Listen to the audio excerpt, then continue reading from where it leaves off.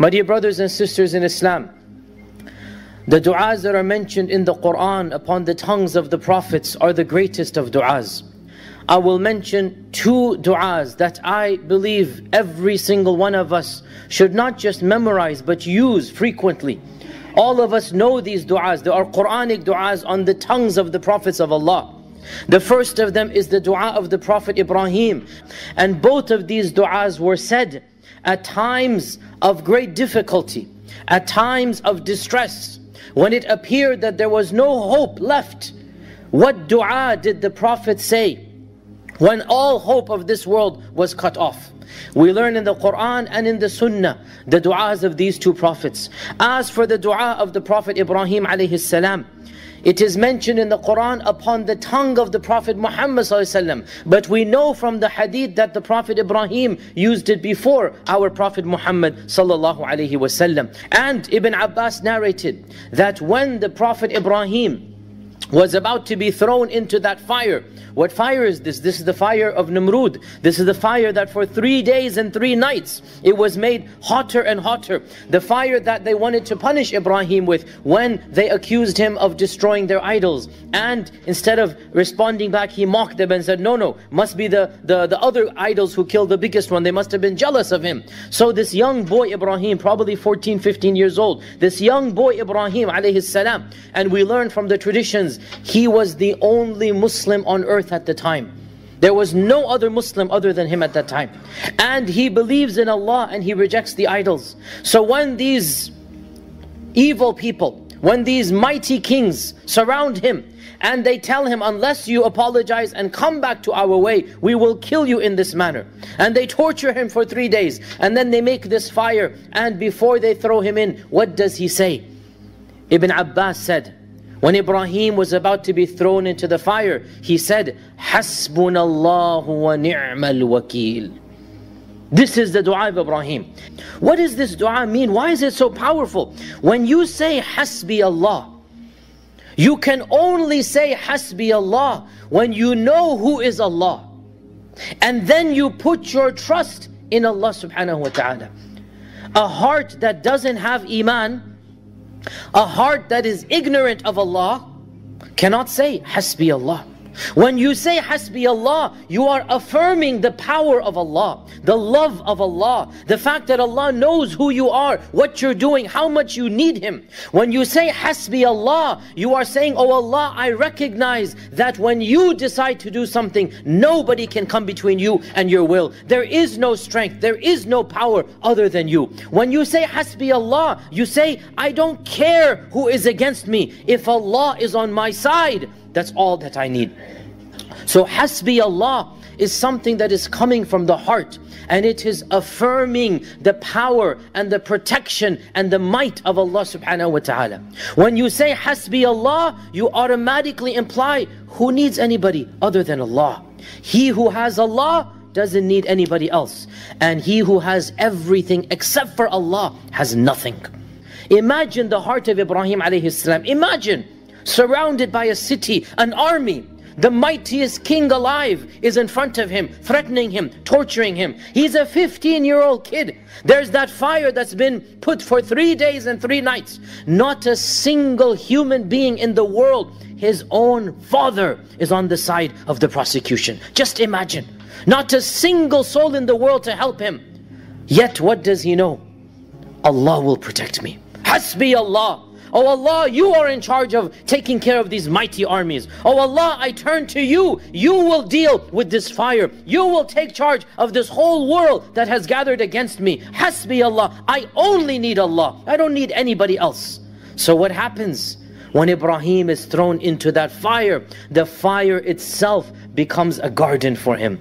A garden, a pleasant walk in the park. It becomes beautiful, fragrant, green, cool. This is what happens when you put your trust in Allah subhanahu wa ta'ala. And this is exactly what happened in the lives of Ibrahim alayhi salam. And also in the life of the Prophet Muhammad sallallahu alayhi wasallam. When the battle of Ahzab took place and 10,000 strong were surrounding Medina and there were barely 1,500 Sahaba. There's no way they could physically fight against 10,000. 10,000 armed men and they cut off the supplies. For one month they cut off the supplies. How long can you last? The people were beginning to eat vegetable, uh, the, the leaves of the, of the trees. They had nothing to eat. They're starving. They haven't had a proper meal for weeks. How long can the siege last? What is going to happen? They cannot fight. The Quraysh are outside with all of their allies, 10,000 strong. They cut off all of the food supplies, all of the caravans. How long can this go on? So they say, Hasbunallah wa ni'mal wakil. And what happens? What happens? An army from the heavens comes. And 10,000 strong are rerouted, fled helter-skelter overnight because Allah Azza wa Jal sent, as He said, وَجُنُودًا لَمْ تَرَوْهَا He sent an army, you did not see it. The wind began to blow, the thunderstorm, a tornado in the middle of the desert, and the sand was so severe and hard that they all had to flee, 10,000 strong. Can you imagine? An army of 10,000 was destroyed without one sword being unsheathed. Think about that. Without one sword being unsheathed. 10,000 strong simply disappeared overnight. Why?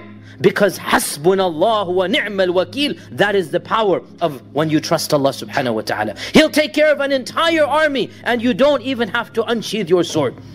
But as long as you show that tawakkul, as long as you recognize, oh Allah, you will deal with it, you will take care of it. Hasbi Allahu wa ni'mal wakil. And of course, I have to add here as well that you only do this after you have done everything in your power. The Sahaba built the, the trench. The Sahaba armed themselves. The Sahaba were ready for battle if need be. They didn't just sit in their houses and say, Allah will take care. You do everything you can physically and then you say, the rest is up to you, O Allah. And really, O Allah, I only need you. Hasbi Allahu wa ni'mal wakil. So this is the first dua. Let us memorize it. Let us use it. And the second dua, which is also used at times of distress, at times of difficulty. I want to both these du'as to be because we go through all types of difficulties. Every one of us, life is nothing but difficulties and one tragedy after another. This is the reality of life. So the second dua as well is a beautiful dua. And it is the dua of the Prophet Yunus alayhi salam. As we all know, as we all know, the Prophet Yunus alayhi salam,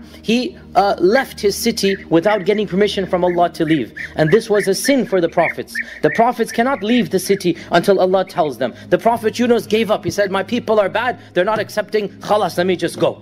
And it wasn't appropriate for the Prophet to do this. And so what happened, as we know, that uh, he went onto the ship and the people of the ship, they said somebody has bad luck here or somebody is bringing this punishment. Who must it be? They drew lots and it came to Yunus and there was a thunderstorm going. It was the middle of the night. They said, you're the one causing this, this, this omen. And of course, we don't believe in omens. These were not Muslims that were doing this. Nonetheless, they said, you're the cause of this bad luck. We need to get rid of you. And so, in the middle of a dark and stormy night, in the middle of the ocean, when the thunder is going and the rain is pouring, complete darkness, they pick Yunus alayhi salam and they fling him over the ocean.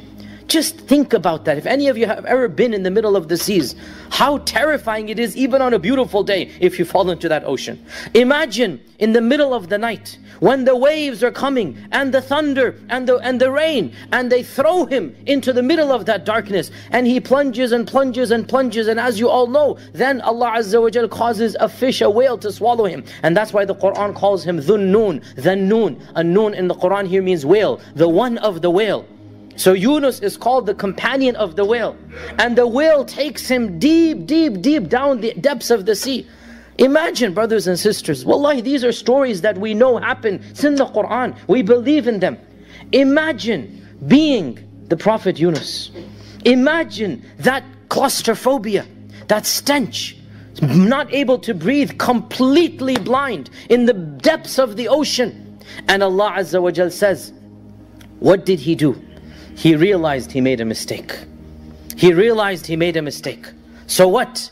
Allah says, وَنَادَى فِي الظُّلُمَاتِ He called out in the depths of the darkness.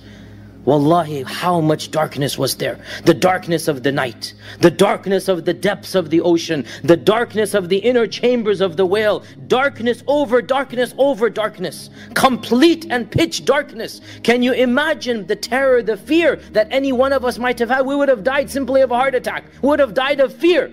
But Yunus alayhi salam, he realized, I need Allah Azza wa Jal. And so what did he do? ونادى في الظلمات أن لا إله إلا أنت سبحانك إني كنت من الظالمين From the depths of the ocean he calls out لا إله إلا أنت سبحانك Oh Allah, there is nobody worthy of being praised, worthy of being worshipped, worthy of being glorified other than you. Subhanaka, exalted are you above anything. Meaning what? Some people who don't have strong faith, they blame Allah for their calamities and tragedies. They say this is because of Allah, this is because of God. Why is God punishing us? Why is God doing this to me? And this is a common phrase we hear. I'm a good person, why is God doing this to me? We do not speak like this. We do not accuse Allah of any injustice or evil. Therefore, dear brothers and sisters, when a person says this phrase, La ilaha illa anta subhanaka inni kuntu min al-zalimin, he affirms for himself that I have fallen short. It was my mistake and error. And if this is the Prophet Yunus saying he made a mistake, then where do we stand in front of Allah subhanahu wa ta'ala? And this is the perfection of repentance. You say, Allah, you are perfect, I am imperfect. You are holy, I am sinful. You are the ilah and the God, and I am the, the marbub and the abd. I am the one who is under your control. And so Allah Azza wa Jal says in the Quran, فَنَجَّيْنَاهُ مِنَ الْغَمِّ We were the ones who saved him from his distress. And then, listen to this phrase and memorize it, brothers and sisters. It is one of the most optimistic phrases in the Quran. وَكَذَلِكَ نُنْجِي الْمُؤْمِنِينَ And in this manner, when the mu'min says, La ilaha illa anta subhanaka inni kuntu in this manner we shall save all of those who are in distress. All of those who believe. All of those who turn to me. We will save all of them. So this dua is said whenever you are distressed. Yunus was distressed because of the problems of the whale, the problems of the... We are distressed because of other problems, much less trivial than Yunus, but nonetheless they are big for us. Family problems, financial problems, our boss is giving us an attitude, we're worried about our job, our family issues. These are our dhulumat. These are our darknesses. So when we're surrounded by these darknesses, what do we say? La ilaha illa anta subhanaka inni kuntu min al-zalimin. This should be our dua all the time. And our Prophet sallallahu alaihi wasallam said, in a hadith in Musnad Imam Ahmad, no Muslim ever says this dua except that Allah will answer him. No Muslim ever says this dua except that Allah will answer him. So these are the two du'as, brothers and sisters. Memorize them. Make them a daily part of your rituals. Hasbi Allah wa ni'mal wakil. And La ilaha illa anta subhanaka inni kuntu min al-zalimin. Barakallahu wa